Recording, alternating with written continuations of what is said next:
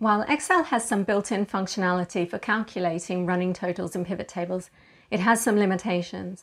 In this tutorial, I'll show you what they are and how to get around them with a Power Pivot formula that you can also use in Power BI.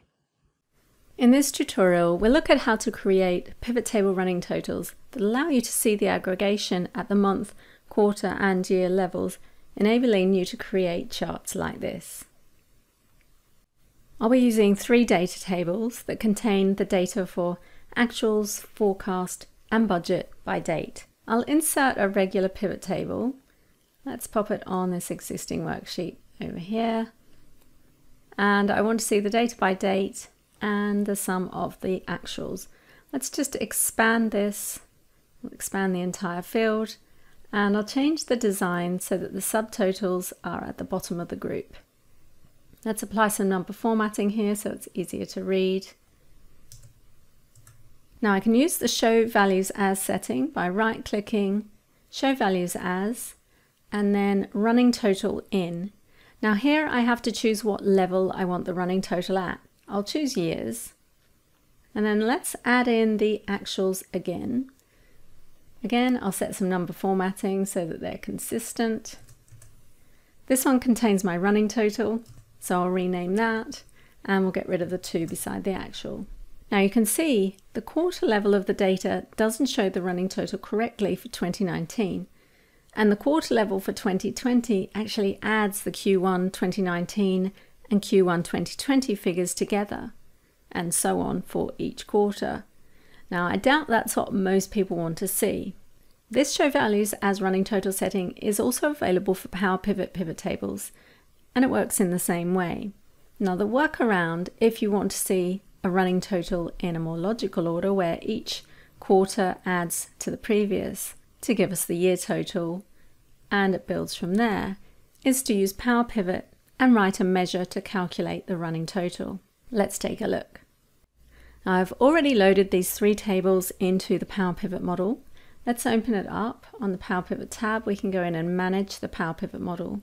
And if we look at the diagram view, you can see the tables at the bottom. I've also added a table for my calendar. This is a dimension table, and it's going to enable me to create relationships between my three tables that contain the data I want to summarize.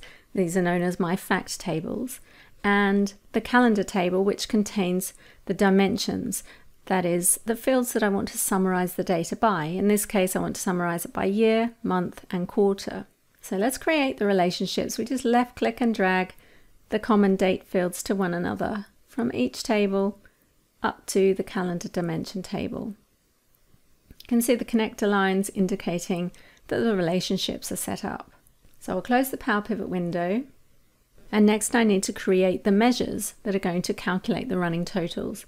So again on the Power Pivot tab under measures I want to create a new measure. The first one I'll create is for the actuals, so it's fine assigned to the actual table. We'll call it actual RT, short for running total. And the formula is calculate. We want the sum of the actual, close parentheses on sum. Let me control and scroll to just increase the font size in the formula field.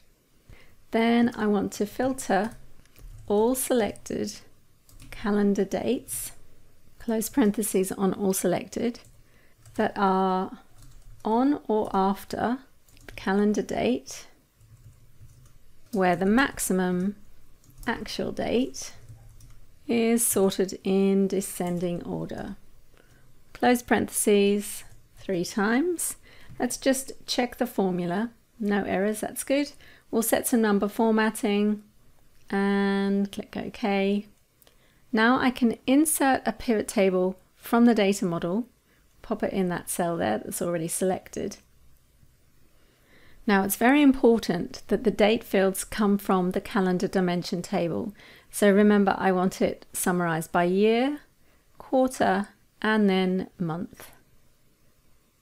And the values that I want summarized are those calculated by the measure that I just wrote. You can tell it's a measure because it has the function icon before the measure name.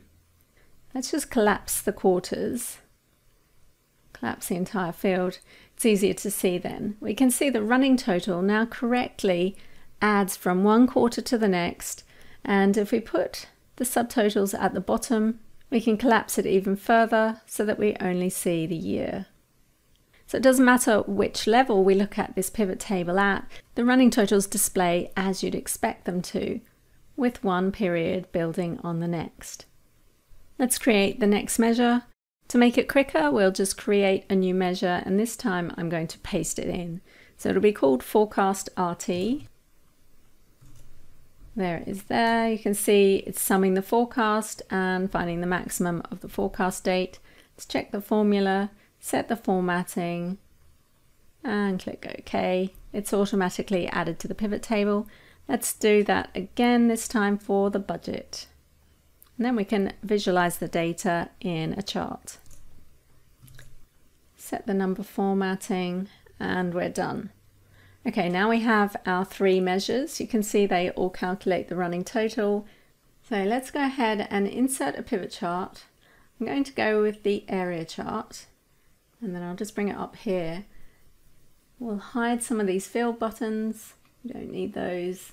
I want to keep the drill down or expand and collapse buttons though, so I need to turn these off one by one.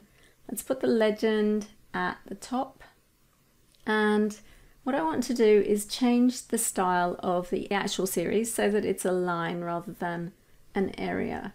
So with the chart selected, I'm going to right click, change series chart type, and then for the actual, I want a line. Click OK. Now to stop the line dipping down, I want to right click the chart and go in and select data. And in here, with the actual RT, hidden in empty cells, I want to have a gap. That's just going to stop that line dipping down to the bottom. Okay, and now all I need to do is set my color formatting. So with any of the charts selected, I'm going to control one to open the formatting pane. And in here, I can change the colors. So for example, I might want the budget field to be dark blue, the forecast to be a lighter blue, and to make my actual stand out, I'm going to set this line to a pink color. And now when I expand or collapse the fields in the chart, you can see it automatically updates and correctly shows the running total. So we can make this a bit wider so that the months on the horizontal axis have space. So there you have a measure for running totals in Power Pivot. Keep in mind that this same measure can also be used in Power BI to create running totals for visuals. I hope you found this formula useful. You can download the file for this lesson from the link here. And if you like this video, please give it the thumbs up and subscribe to our channel for more. And why not share it with your friends who might also find it useful.